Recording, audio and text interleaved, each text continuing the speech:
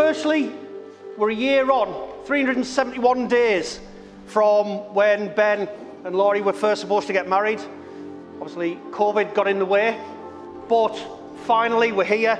We're able to celebrate the day, and I'm sure you'll agree as well. It's a beautiful venue, and we've got a beautiful couple as well.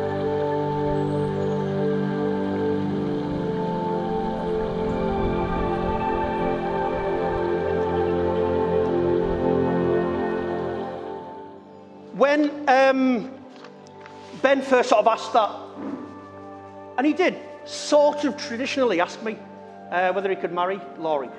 Um, and when I say sort of, it was because I'm buying an engagement ring. Is that all right? and actually, for Ben, I knew that was heartfelt, so I was really pleased about that. You know.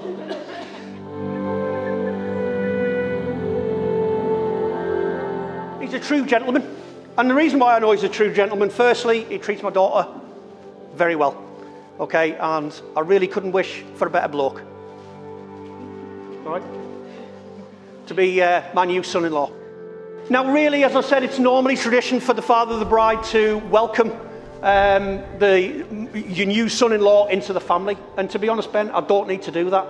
You've been part of the family for long enough. You've been part of the family since really you two got together because we've sort of matched, we've, we've hit each other off with the same sense of humour, and I'm really pleased that you, you are now officially part of the family.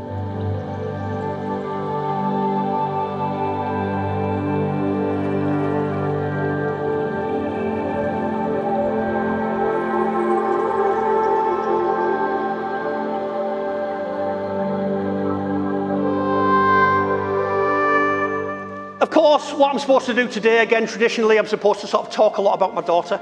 Well, where do I, where do I sort of condense it down to? And it's very difficult to try and condense it into just a few lines.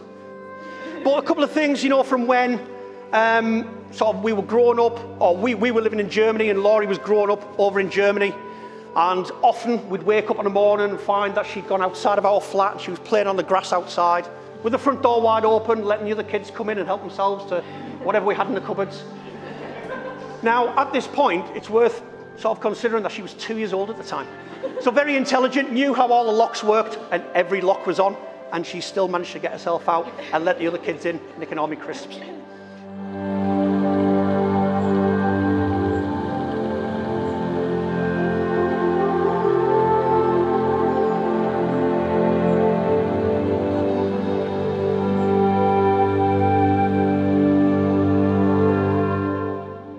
Want to say a couple of thank yous. Um, and, and, firstly, it's thank you to Antonia and Phil. Um, the reason for that, and the reason for the thank you, is because not only have you provided Ben for my daughter, you've guided him and you've given him the character that's turned him into the man he is. And thank you very much. Secondly, I'd just like to thank my beautiful wife, Lorraine. All right, and the reason for that is because I'm sure you'll all agree my daughter is absolutely beautiful. And unfortunately, she doesn't get her genes from me. So I'd just like to thank Lorraine for passing on the genes and making sure that she looks as beautiful as she is today. But what I'd like you all to do is, if you could please be upstanding. So, Laurie and Ben, okay, he's to the past, and for all that you've both learnt, he's to the present, for all that you share, and he's to the future, for all that you have to come. Ben and Laurie. Thank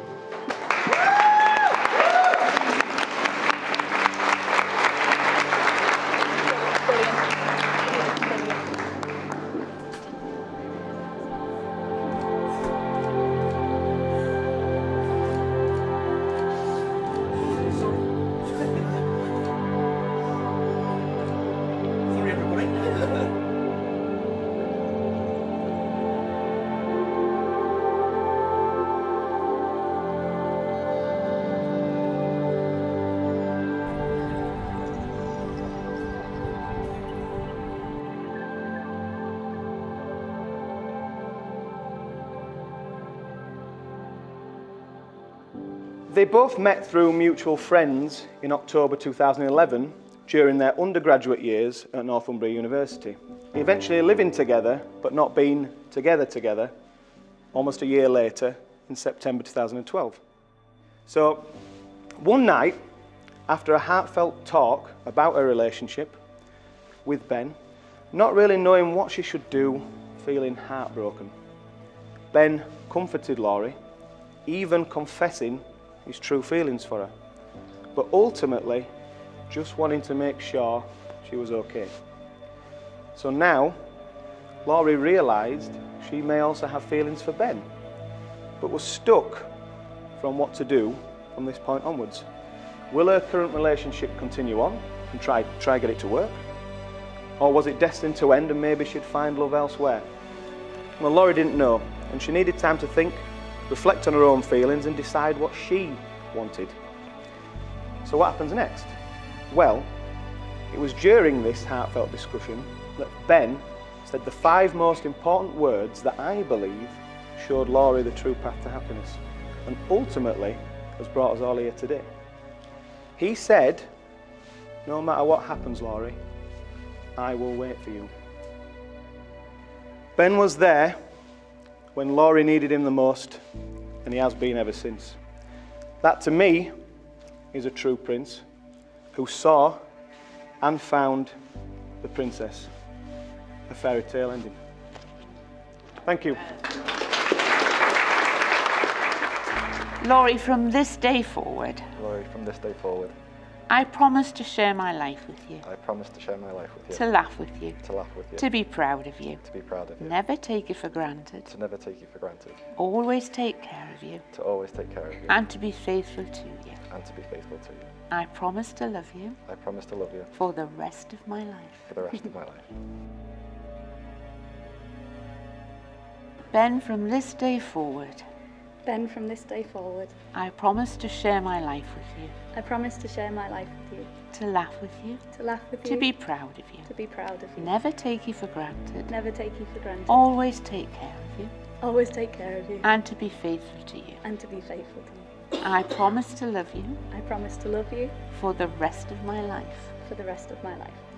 I am delighted, therefore, to declare you are now husband and wife, and you, sir, may kiss your beautiful bride.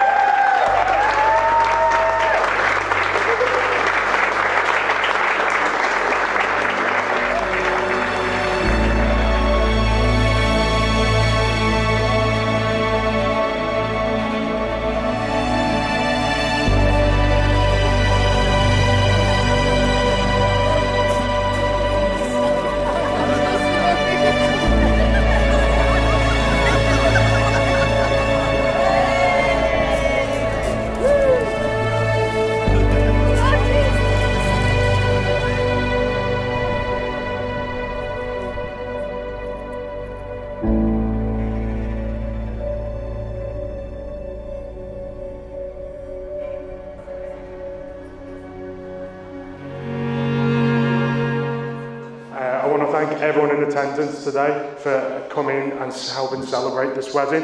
Um, on behalf of the bride and groom, I know there's loads of thank yous going around, but thank you on our family as well for being here today to celebrate. Um, I want to thank every one of you who's come up to me and said, oh, have you done your speech? How are you getting on with your speech? Because that's not nerve-wracking at all, so thank you all for that. Um, and I want to thank Liam as well, who gave me the best bit of advice I've had about my speech. Uh, we were on the stag do, we were about a round of drinks, and he just said, as one fellow Newcastle University graduate to another, take out the big, annoying, intimidating words, because there are a large amount of Northumbria students here. So I know the outnumber is Liam, but me and you sticking together, mate. Thank you for that bit of advice.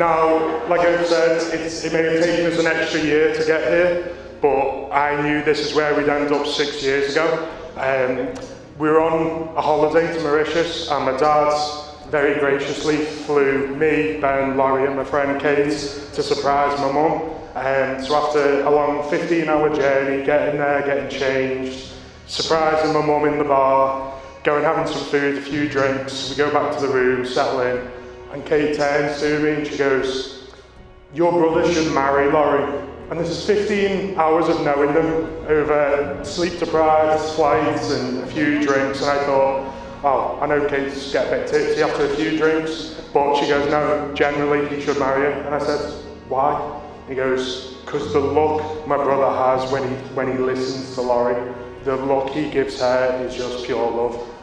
So I was like, I don't really look at my brother that kind of way, I've never noticed it. yeah, so I thought, right, the next morning we got out for breakfast, and again, Larry's there talking to my mum about you know the place and the, the island. Look over to my brother, and he's just pure infatuated with her. And it's the look I thought I'd never be able to see again until I was stood next to you when Laurie was walking down the aisle. And that look today beats any kind of look I've ever seen you have. So I just want to say, Laurie, you've got the happiest guy in the world. Um, and Jim and Lorraine, I can speak personally, and I know you've known him for 10 years, but this man will sacrifice anything for your daughter. And I personally wouldn't be stood here today giving this speech in front of everyone um, because when I was 15, this guy saved my life. And he sacrificed a lot and lost a few friends. So I know he will do anything for your daughter.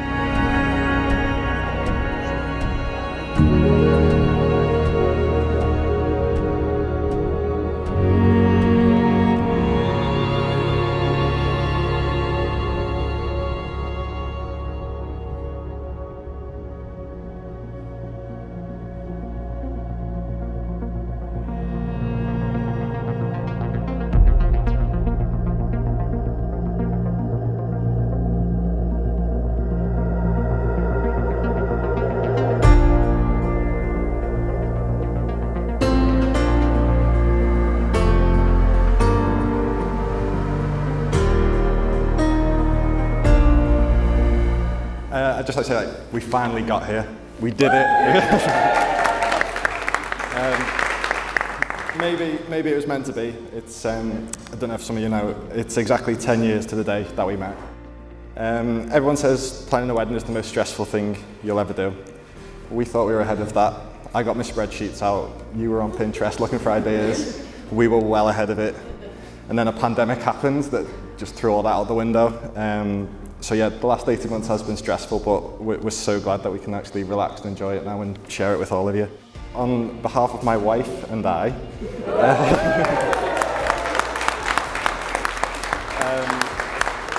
I, I would like to say a huge thank you to everyone for coming uh, and sharing our day, uh, especially those that travelled a great distance and then you go pay a fortune for a pint. Um, we are thrilled that you're all with us, um, having so many of our friends and family. Um, I can honestly say it wouldn't be the same without you. It would have been a lot less stressful doing the speech into an empty room, but thanks.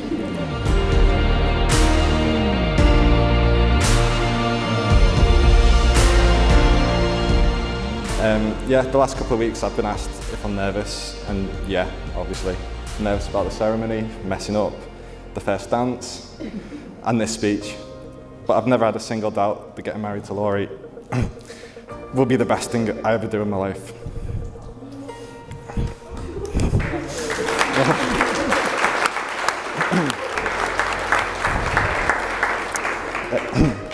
It has been eye-opening though. I found out that gypsophilia is a flower and not some sort of disease. and it's crucially important to know what font your name's going to be written in. Um, but for us today, it's not about being formal. It's about relaxing, having fun, and celebrating our marriage. So I hope, so I hope you can stay as long as possible and join us in thoroughly embarrassing yourself on the dance floor later.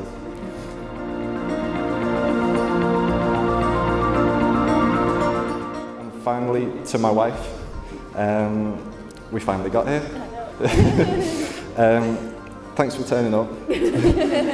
for a moment, I did think you'd realise that I'm punching and you're just gone, but you're stuck with me now. Um, you do look absolutely stunning, and I am so lucky to be your husband.